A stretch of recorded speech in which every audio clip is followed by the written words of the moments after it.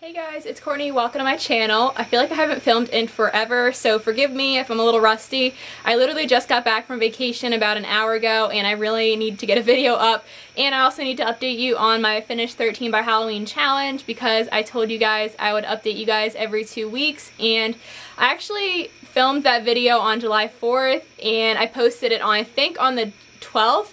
So it's been quite some time since that video was up and I think it's just a little bit over two weeks but I had filmed it on the 4th so I made a ton of progress since then so you probably won't see as much progress between my next updates just because I had some extra time for this one but I'm excited to show you regardless and I'm really proud of my progress this time. So surprisingly I actually finished up three items so the first thing I finished was the ModelCo Volume Eyes Mascara, and I thought this was the full size, but it's actually, I think, like the half size one. I looked up the price of this online, and the full size is like $22, and I had no idea that ModelCo was a high-end brand, so this was actually a very nice mascara, but I decided to call it quits because it was just flaking horribly on my under eye area and I don't like that look so I decided to call it quits but here is a look at the brush in case you haven't seen it before because I don't think this is a brand that's readily available in the US. I could be wrong though but this is what it looks like. And it is a natural bristle brush. I really like this mascara. I just wish it didn't dry out so fast. I think I've been using this for like a month and a half, two months, something like that. But I'm happy to get another mascara out of the way. I finished up my Smashbox Photo Finish Primer and this is just a deluxe size sample. So in the intro I was right here as you can see right there. Sorry if the line is faded. I just pulled this out of my makeup bag and I finished all that product down there. This was a fine primer but I'm not really interested in purchasing it. I think it doesn't really smell that good. I prefer the POREfessional as a high-end primer but I don't think I'd even pick that one up just because I think that you can find a primer at the drugstore. But I liked this, I just don't think I'd repurchase it. And then finally for my current Project Pan Empties, I finished off this Benefit Stay Don't Stray eyeshadow primer and I really liked this. I just don't think I'd purchase it because I have two other eye primers to go through and I want to see if the e.l.f. one still works for me. So this was absolutely awesome and it worked really well to prime my eyes. It gave a little bit of coverage to cancel out some veins, but I, like I said, I just don't think I'd purchase this. So that's everything for empties. So now I'm going to go into the products that I still have. So I guess I'll start off with eye type products. And this one I can't really show you the progress on because if I twist it up, then I won't be able to twist it back down. But my Maybelline Define Brow Pencil is still going. I'll just put up a little bit. It is a very fine tip and I am okay with using this. I don't love it, but I don't hate it. It's just kind of an extra step for my eyebrows, which is kind of annoying, but I want to see if I can use this up. So still using it every day for the most part. I might have missed one or two days, but I've been pretty good about wearing this. And for certain products, I will insert pictures of the products that I can't really mark. So I'll post the picture for my intro video for my Urban Decay Black Velvet Pencil now. And this is what it currently looks like. Look how tiny it is now. So before it was about maybe half an inch to an inch past the 24-7 mark and I actually used up the 24-7 part and then some so I probably used up about that much.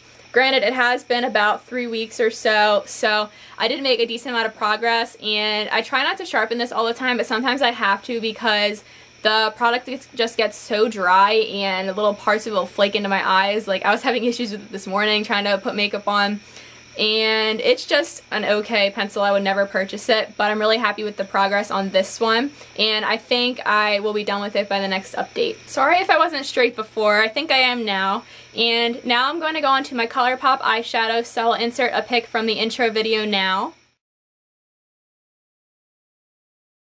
And this is what the eyeshadow currently looks like. I'm really happy with the progress on this one. I'm hoping I can use this up in like a month. So you can tell that ColourPop eyeshadows do not have a lot of product in them at all.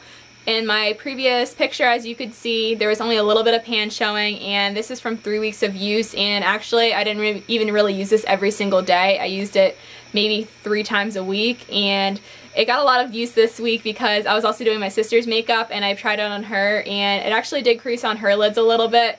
I don't love this eyeshadow. I thought I was starting to like it, but honestly, I'm not really impressed. I will show you what it looks like uh, as a swatch and on my finger. So that's what it looks like on my finger. It's just a nice, pretty champagne shade. It's not my absolute favorite, like I said, but it does swatch nicely and it looks okay on your eyes. I think I might have been more impressed with a ultra metallic shade from ColourPop. This one didn't really impress me too much at all, but I just don't think I will purchase from them again. And the writing on this actually got rubbed off, so that's a bummer, but granted it was traveling with me for a long time and I was using it a lot, so oh well.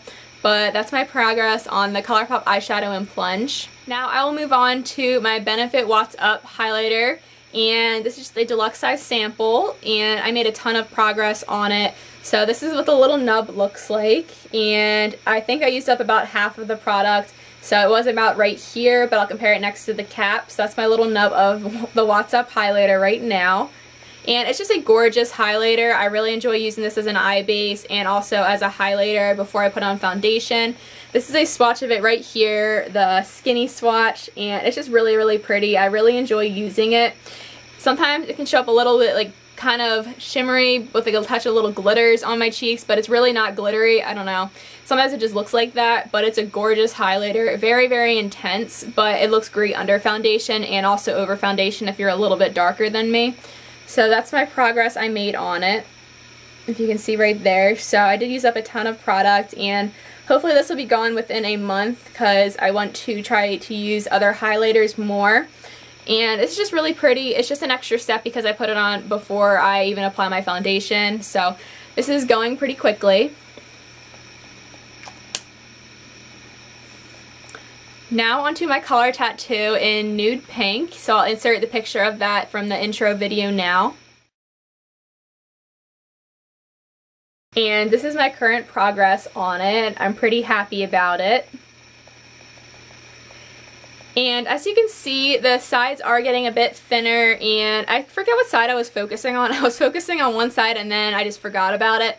But as you can see, the sides are definitely getting thinner and I'm using up more product up there. So hopefully I will hit the edge by my next update, but we'll see. I can just definitely tell that the pan is really expanded. And even if you look in the back, you can see a lot of it is gone. So I really enjoy this product. Here is a swatch of it. It is the matte color and it's kind of on the purpley side but it blends into my eyes really really nicely it does look a little bit dark on the lid but once you blend it out it just looks like it has a little pinky tinge it's slightly darker and more pink than Painterly Paint Pot from MAC but I will be repurchasing that one after I use this up. I just wanted to start focusing on this, but I absolutely love this and I really enjoy using it. And I'm also really happy about the progress. And I think everything that's left is lip products. So I will be showing you my Bare Minerals Marvelous Moxie Gloss in Rule Breaker and look at that awesome progress. I'm so happy about it. I've been trying to reapply this gloss like crazy so I started with it up at that line and now it is currently down here so not quite half the lip gloss gone yet, but pretty close. So I think I can probably make it about down here by my next update. We'll see and I'm really happy about this. Maybe this will be gone in like a month or so. And I just realized I'm not wearing any lipsticks, so I'm gonna put on my little NARS pencil really quick. Speaking of that NARS pencil, I will insert the picture from the intro video now. This is what it currently looks like. Look how tiny it is. I'm so happy. I really enjoy this lip color. Here is a swatch of it right here. It is a kind of a glossy finish. It looks like it has shimmer in it, but it's not really shimmery on the lips. It just kind of gives a nice finish to your lips, and I think it's perfect for work, and I applied this so much when I was on vacation. I just put some on now, as you could tell, and it just looks really pretty and natural. So I think the pencil was like up here, so I did sharpen it a lot, and it was getting a lot of use because I was reapplying it constantly. So I'm really happy with the progress on this. Next is my Maybelline lipstick in Lust for Blush. It is in the Creamy Matte formula, and this is what the lipstick currently looks like. I absolutely love this lipstick. It is such a beautiful color. It kind of has a purpley tinge to your lip, but it just looks pretty wearable for being a matte lip color. That's what the color looks like. It's really pretty. And I did use this a little bit, not a whole lot because I was really focused on the NARS one, but I still made considerable progress considering you really don't need to apply much of this. So that's about where it is now. You can tell right there. I love this lip color. It's really pretty. It's great for nights out. I don't really wear it to work all that much because I find that I would have to reapply it later and my lips will just not really get dried, but I really like having something on my lips at all times.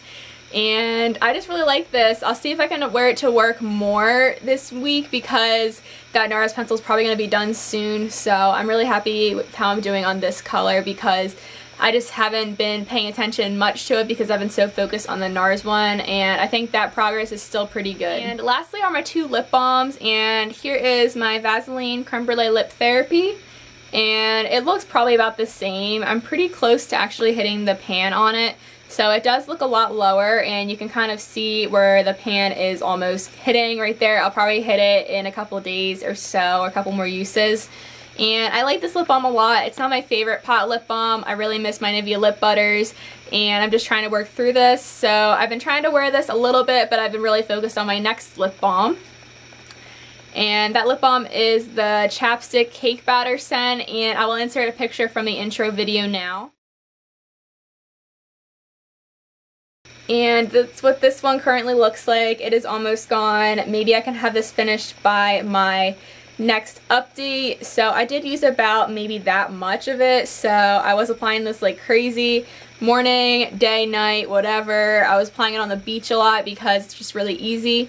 I think this smells like Rice Krispie treats. So if you like the smell of that, definitely check this lip balm out. And I think the chapsticks work fine. So that is everything. Those are all my products that I'm trying to work on for my Finish 13 by Halloween challenge. Hopefully I will have this up by Wednesday the 29th I think so I can kind of be on track for my updates. I know it was a little bit off. My next update will be in two weeks, so I'm pretty excited to work on more of my products and try to make more progress for you guys. Thank you so much for watching this video. Let me know if you're doing the Finish 13 by Halloween challenge or any Project Pan videos. I would love to watch them. Love you guys, and I'll see you all in my next video. Talk to you later. Bye.